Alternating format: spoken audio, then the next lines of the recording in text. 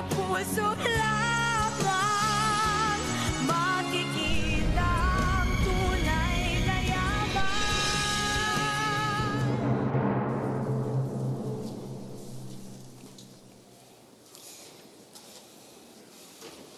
Ate, ano bang ginagawa natin dito? Baka mamaya dumating si Daniela. Gusto ko lang ipaalala sa sarili ko kung anong kailangan kong panggainin.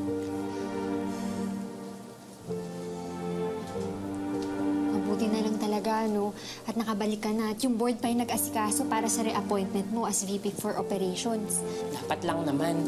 Eh, kahit na nung nasa factory pa si ate, siya pa rin ang umaayos ng mga problema dito sa opisina. Pero wag nga lang tayo masyadong pakasisiguro.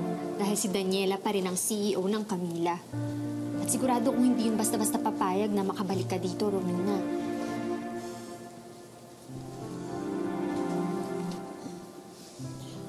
Board ang nagdesisyon, Bonita.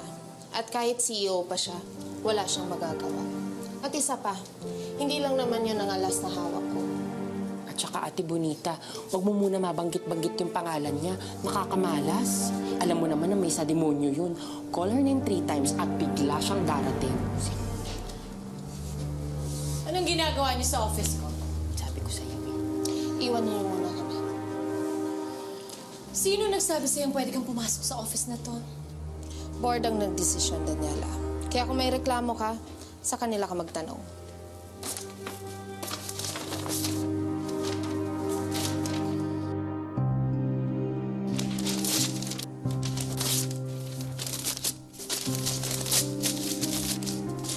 That means nothing. I am still the CEO of this company, Romina. At kaya kong i-overturn ang decision nila. Huwag mo i-overestimate ang kapangyarihan mo bilang CEO, Daniela. Baka ang posisyon mo ang i-overturn nila. Hindi nila pwedeng gawin yon. Wala silang rason para tanggalin ako sa posisyon ko. Dare ba yan, Daniela? Baka magsisi ka.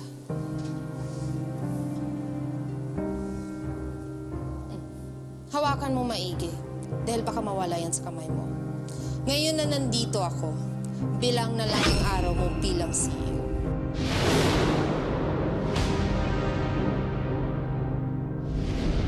Yes, yes, we're about to start. All right, thank you. Guys, let's do this. All right, guys, clear. Out. Out. We can start. Kas?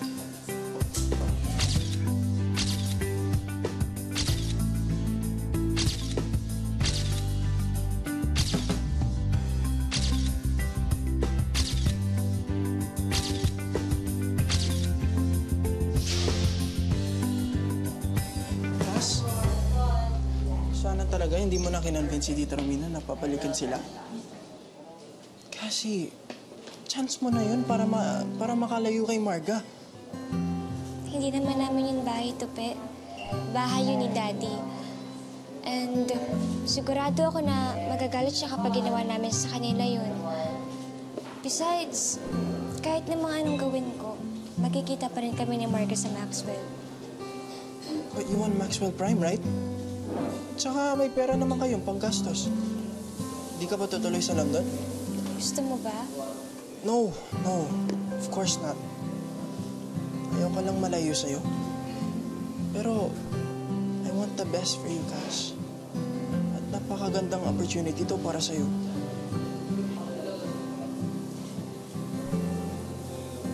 Hindi na siguro, Tupe. Nakapag-decide na rin naman ako na hindi ko iiwan si Mama eh. Hanggat hindi natatapos yung away nila ni Ate Daniela. Magkasama namin nga harapin yun. Okay. If that's what you want, then okay, Cash. Basta, tatandaan mo lang, nandito ako para sa'yo. Kahit anong decision mo, susuportahin kita.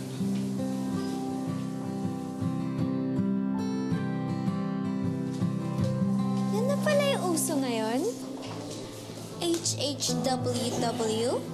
Holding hands while working. Marga, please, just leave us alone. Okay, Crystal, fine. Hindi mo naman kailangan mag-alala. Wala din naman ako masyadong time para sa inyo. Nandito lang ako para invite kayo sa lunch ko tomorrow. Salamat na lang, Marga, pero hindi kami pupunta. Bakit naman? Natatakot ka ba na baka maiyak ka pag nakita mo na successful na ako ngayon? Hindi, Marga. Hindi kasi ako ganun pinalaki ng mga magulang ko eh. Para magiging gitera. Eh, di patunayan mo. Pumunta ka sa lunch ko bukas, ha? See ya.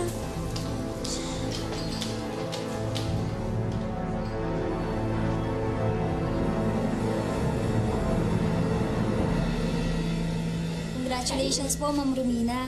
Mabuti na lamang po at napatunayang wala po talaga kayong kasalanan. Naku, nag-abala pa talaga kayo maghanda para sa akin. Hindi niyo naman kailangan gawin to. Pero salamat ha. Salamat. Hayaan mo na, ate. Ano ka ba? Ang tagal na kayong walang dahilan para mag-celebrate dito sa opisina. Oo nga, Romina. At saka malaking bagay to para sa amin, no? Di ba? Kulang pa nga ito, Ma'am Romina. Sa dami ng ginawa mo sa amin, karamihan sa amin, naibalik ninyo nung pagtatanggalin kami ni Ma'am Daniela. Ako, hindi niyo ako kailangan pasalamatan. Ginagawa ko lang kung ano ang tama. O ano, let's eat! Come on, kumawa na kayo. Ayan, go. Ako magawa ko. Titikman ko na talaga. Your step monster is really back. And as it seems, mukhang nakasunod na sa kanya ang mga tao ng Camila. Not for long. What's going on in here? Go back to your workstations kung ayaw niyo matanggalan ng mga trabaho. What are you waiting for? Go back to work! Huwag kayong umalis. May tinatawag na break time, Daniela. At sa pagkakaalam ko, hindi pa rin tapos. Ano, pati ba naman yun tatanggalin mo sa kanila? I'm still the CEO of this company, Romina. My company, my rules. Hindi ikaw nagmamay-ari ng kumpanyang ito. At simula ngayon magbabago ng lahat. Hindi ko hayaan na tapak-tapakan mo ang karapatan ng mga empleyado. You're making a big mistake. Ako pa rin ang anak ng may-ari ng kumpanya. Stepdaughter, Daniela. What? Nakakalimutan mo yata na ako pa rin ang may pinakamalaking shares dito sa kumpanya. Kaya kung meron kang dapat katakutan na Mondragon, ako yun. You don't scare me, Romina. Huwag kang mag-apura, Daniela. Darating din tayo dyan. Sa simula pa lang naman, kuya, alam naman natin na hindi kayang gawin ni Ate Romina yung mga ibinibintang sa kanya eh. Buti na nga lang, lumabas na yung totoo. Anong hindi magagawa sinasabi mo? Ang sabihin mo, nagawa niya ng paraan. Yun. Tay, hindi mo makakalaya si Ate Romina kung may matibay talaga ebidensya laban ho sa kanya. Eh kung tutusin nga po, pwede niyang kasuhan si Ate Daniela eh. Paninirang puri yung ginawa niya. Hindi nga yun iniisip ko eh. Akala ko talaga papaalisin na kami nila Rowena sa mansyon. Yung bahay ng mga magulang ng asawa mo yon. Walang karapatan si Romina ang kinin yon. Tay, sa kanya ipinamana ni Sir Robert yung bahay. Oh. Wala nang habol si Daniela doon. Mabuti na lang talaga pinatira kami ni Romina sa bahay. Mabait naman talaga si Ate Romina eh. Eh kung sa iba yun, baka sa kalsada na ho kayo pinulot.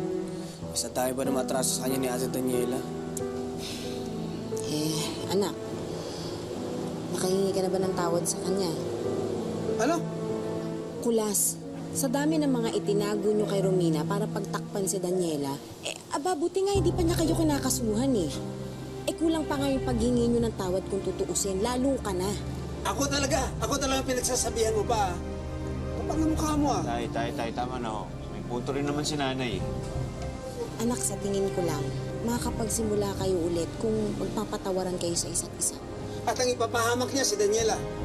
Parang sinasabi niya na lang na pwede na ikulong si Daniela kapag humingi siya ng tawad. Ganon? Carlos, ang pamilya mo lang ang natitira sa'yo. Kung ako sa'yo, hindi ko yung sisirain para lang kay Romina.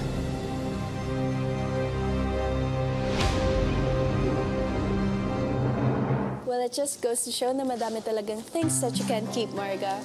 Yung status mo sa Maxwell, Maxwell Prime, Christoph. Na naman to, Nadia?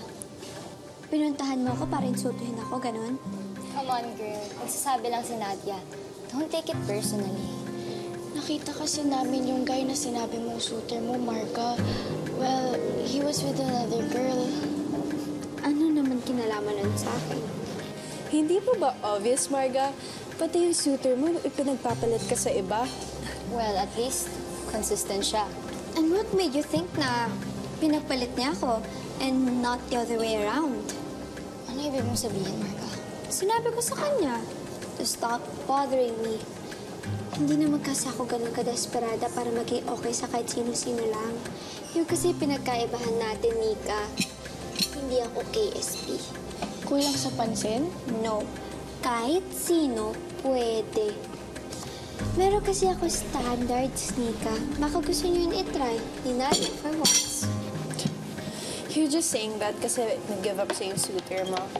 No, I told him to give up. And meron naman ako ibang gusto anyways.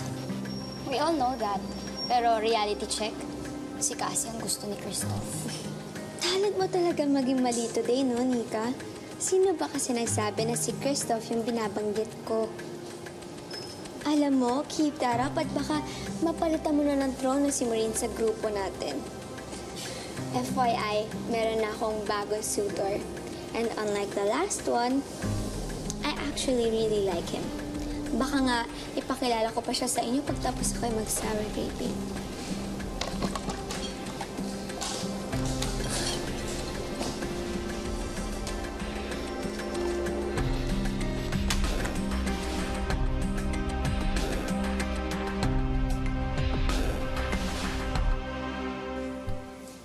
Fairness, ang sarap dun sa kinainan natin kanina. ah.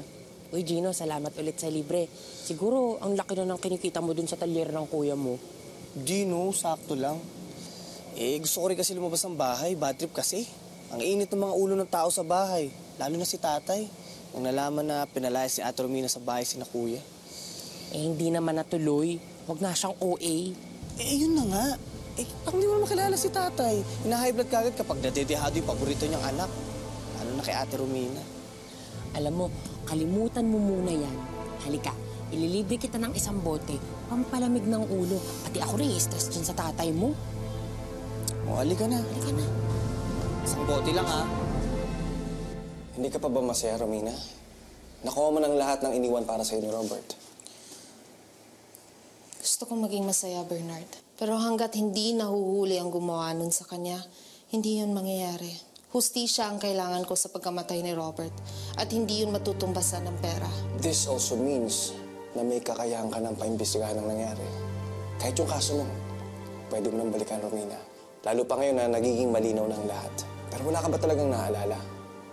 Kahit ano na pwede nating magamit para mas maging malakas yung kaso mo laban kay Daniela. Wala, Bernard. Pero alam kong may kakayahan na ako para hulihin ang totoong may sala. Hindi ko man kayang bilhin ng hustisya gamit ang perang iniwan sa akin ni Robert.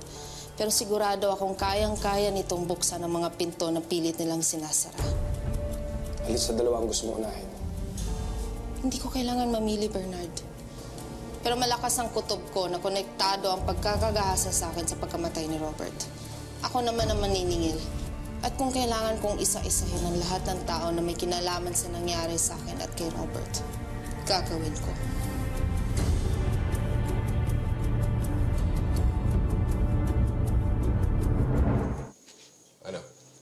Ayos na ba suot ni Papa? Pupunta pa. May lakad si Papa.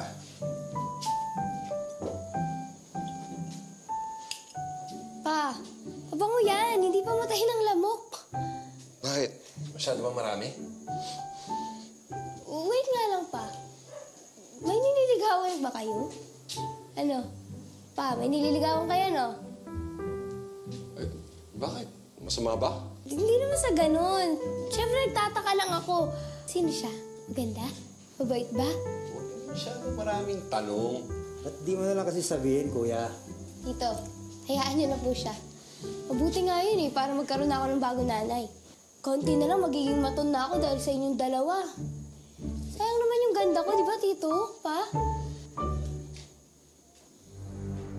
Kapag tuluyan na humaling si Kuya kay Daniela, wala na akong mapapala. Siguradong hindi niya nakuhututan si Daniela. Pero kapag naisip niya magpapatihado ako ng ganun-ganun na lang, nagkakamali siya. Nang, hindi niyo naman kailangan maghanda. Bumalik lang ako sa dati kong trabaho. Hayaan mo na ako, Romina. Siyempre, masaya ako dahil nakabalik ka sa kung saan ka nararapat. Paminsan-minsan lang naman ito eh. Ano po bang niluto niya, Nana? Ilabas niyo ang lahat ng yan at huwag kayong magtitira kahit na isa. Ginagawa mo? Ano nangyayari? Marga, we need space. And if they want to celebrate, they can do so, pero hindi dito. Nagpahanda ako ng lamesa sa garahe kung saan sila nababagay. Ano bang hinihintay nyo? Go! Ibalik niyo yan. Don't you dare! Sundin niyo ang inuutos ko. Baka nakalimutan mo na ako ang may-ari ng bahay na to. Ibalik niyo yan. Ang kapal naman ang mukha mo ang kinin ng bahay na to, Romina. This is my house. Ikaw ang makapal ang mukha, Daniela. Legal na iniwan tong bahay na to sa akin. Lahat na nandito ay sa akin, pati yung lupang tinatapakan mo. Wala kang karapatang angkinin ng bahay na to. Sa husgado ka magreklamo. Pero ginawa mo na yun, di ba? At ako pa rin ang kinampihan nila. Kaya huwag mong antayin na maubos ang pasensya ko. Dahil kayang-kaya ko kayong ipakaladkad sa labas ng bahay na to kung gugustuhin ko. Mom, just let it go. No, Marga, hindi ko papayagan mag-rain. Narinahan yung babae niya dito sa bahay ko. Pauwi na rin kasi si Dad. Ayoko na pati ito pag-aawayan niyo pa. Pero Marga... Mom, sige na. They've taken more than enough. Huwag mo na sila hayaan to take more from us. Fine. I will let you celebrate. But I'll make sure na hindi magtatagal ang kasiyahan mo to.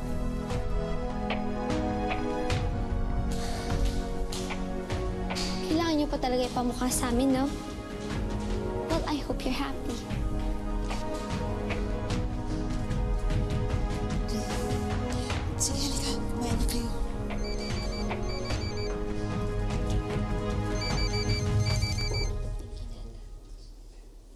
Hello, Alvin.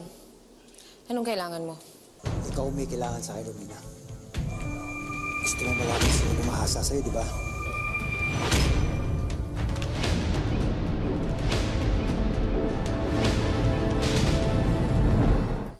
Carlos.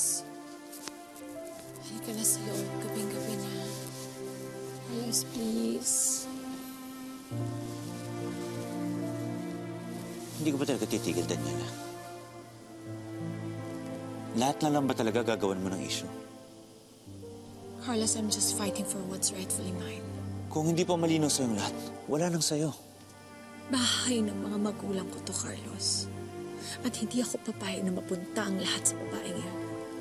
Kaya kahit naiipit ng anak mo, sige ka pa rin na sige. Ano ba talaga gusto mong mangyari, ha? Tuluyan na siyang tumalang kung saan bago ka pa magsawa? That's just unfair. Unfair? Ikaw ang unfair. Hindi mo na talaga naisip kung anong maging epekto nito sa atin. Lalong-lalo na kay Marga. Hindi ka talaga titigil? Maawa ka naman sa anak mo. Hindi niya dapat pinagdadaanan to.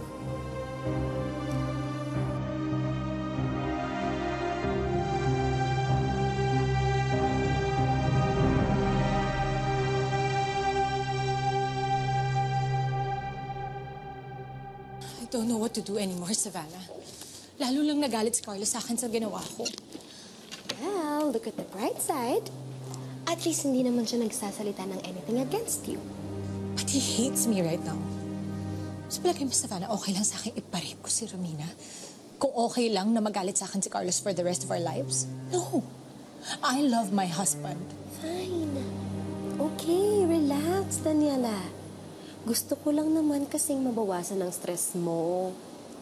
Well, clearly, you're not helping. I need a plan para magkaayos kami ni Carlos. Kailangan mahalin niya ako ulit. Well, bakit hindi na lang kasi kayo ulit magka-baby ni Carlos? I mean, nakuha mo si Carlos noon when you got pregnant with Marga, remember? Why not do it a second time? Limang milyon. Yun ang kapalit ng mga alam ko sa pagkakagahasa sa'yo. Kaya kong doblehin yun. Triplihin ko pa kung gusto mo. Kung may tuturo mo lang sa akin kung sino ang gumahasa sa akin. Yun lang naman ang kailangan ko. May dumating na lalaki nun. Hindi ko siya nakilala, pero Siya ang dahilan kung ba't kita iniwan doon. Pero sigurado ako na siya ang gumahasa sa'yo. Nakilala mo ba kung sino siya? Hindi. Kung ganon, wala na tayong dapat pag-usapan. Sinasayang mo lang ang oras ko. Pero alam ko kung saan nangyari ang lahat. Dahil ako mismo ang nagdala sa'yo doon. Nakakalimutan mo yata na hawak ko ang testimonya na binayaran mo noon, Alvin. Alam ko kung sino nangyari lahat. Na nga lang galing eh. Nabayaran nga sila. Ano ka nakakasiguro nagkasabi sila ng totoo? Ako ang alas mo, Romina. Ako lang ang makakapagsabi sa'yo kung saan magsisimula sa pag-imbestiga. At isa pa, eh, kaming dalawa lang naman ni Daniela nakakaalam kung saan kita dinala. eh. Sa tingin mo, paano nalaman ng lalaki niyo kung saan pupunta?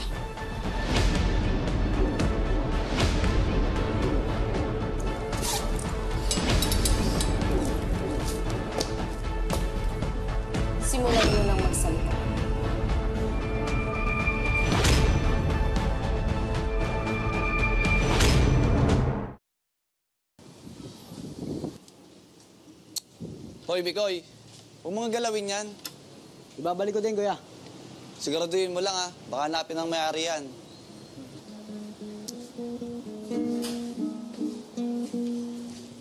Tay. Gino, asan ang Kuya Carlos mo?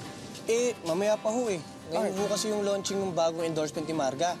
Eh, pupunta ho sila ni Ate Daniela para sumuporta ho. Talaga? Tingnan mo nga naman. Sisikat na talaga yung apo ko. Hindi pa tayo imitado. Eh, tayo ano man ho gagawin natin doon? Makikigulo. Tsaka, wala akong bantay sa talyer. Gusto kong suportahan yung apo ko eh. Eh, alam ko naman ho yun, Tay. Eh, hindi man ho natin kailangan pumunta doon para sumuporta. Pwede naman ho kayo magpadala ng bulaklak. Tsaka ngayon ho yung delivery ng mga pyesa eh. Kita mo, ang dami-dami ginagawa rito pag kita-gitara ka lang. Pasensya na ho, Mangkulas. May ipapagawa ho ba kayo? Tay, ba't hindi na lang si Mikoy ang pag-delivery mo ng bulaklak kay Marga? Para siguradong makarating. Ayun lang po ba? Sige ho, yakang yaka. O yun tay, utusan nyo habang di pa naman kailangan dito. Hmm, sige, para may pakinabang ka. Siguraduhin mo lang, ha? Na makakarating sa apo ko ang bulaklak na bibilin mo. Magandang bulaklak ang bibilin mo, ha? Siyempre naman, mangkulas. Ako pa ba? Sige na. Eh, tay, may nag-i-inquire pala magpakabit ng ilaw kanina. Eh, kinuha mo yung telepono. Oo, nag-iwan. Eh, hindi ko alam pe presyo. Mangkulas, kay Gino. Una na ako. Sandali. Huwag mo sabing pupunta ka doon kay itsura mo. Ay, sumisuot ko. So, si paano pinabili ka lang ng suka sa kanto? Sa pogi kong to, wala ka bang tiwala sa kagwapuan ko kay Gino? Uy, pogi. Eh, mapapagkamala ka man durukot doon. Tay, kayo mo nang bahala sa ka. Pagmumukain ko lang tao tong mokong na to. Oh, sige, sige. Bumalik ka kaagad, ha? Opo, tay.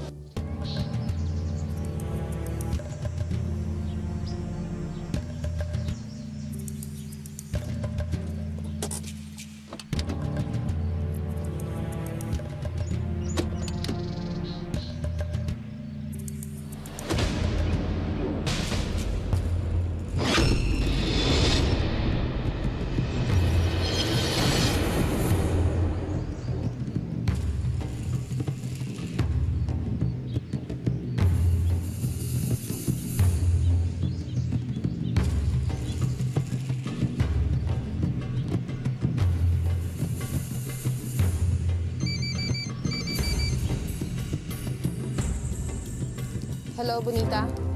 Romina, nasan ka ba? May mga papapirmahan lang ako na paper sa'yo. Iwan mo na lang dyan sa lamesa. Ilatag mo na dyan. May inaasikaso lang ako. Okay, sige. Hindi naman ito masyadong urgent eh. Saan ka ba? Bakit ang choppy mo? Kung saan nagsimula ang lahat.